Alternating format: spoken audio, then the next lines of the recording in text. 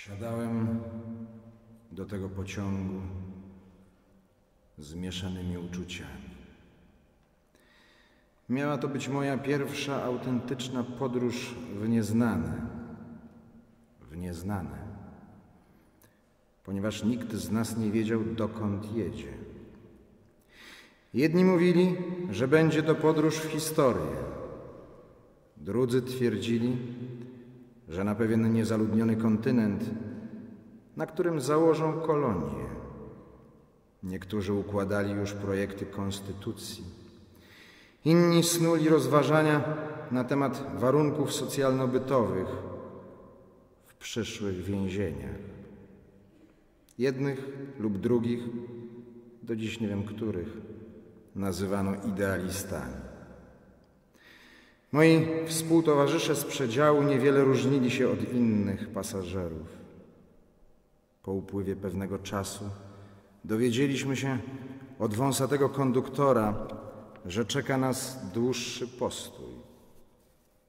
Pociąg zatrzymał się na dużej stacji na peronie dwudziestym, który był zatłoczony tak samo jak inne perony i nie było żadnych realnych możliwości opuszczenia wagonów.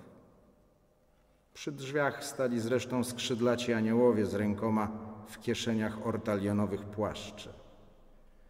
Kieszenie mieli wypchane kredą i każdemu z kręcących się koło wyjścia, nawet wchodzących do toalety, rysowali na plecach krzyże.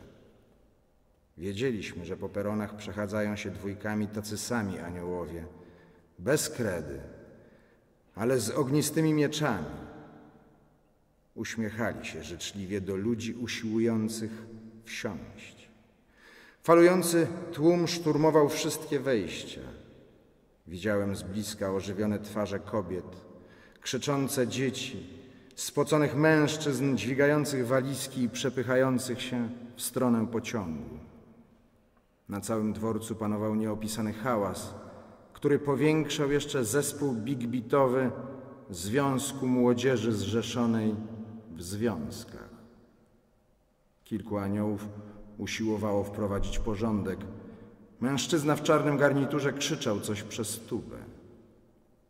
Gdy wreszcie ruszyliśmy, na dachach wagonów i na buforach zauważyłem nowych pasażerów. Palce kurczowo wczepiały się w metal. Na twarzach mieli grymas szczęścia. Tam na stacji nic im nie mówiliśmy, choć wbrew pogłoskom nie sznurowano nam ust. Kartkę tę wyrzucam przez okno. Uczciwego znalazcę proszę o opublikowanie jej treści w którymś z bardziej poczytnych pism.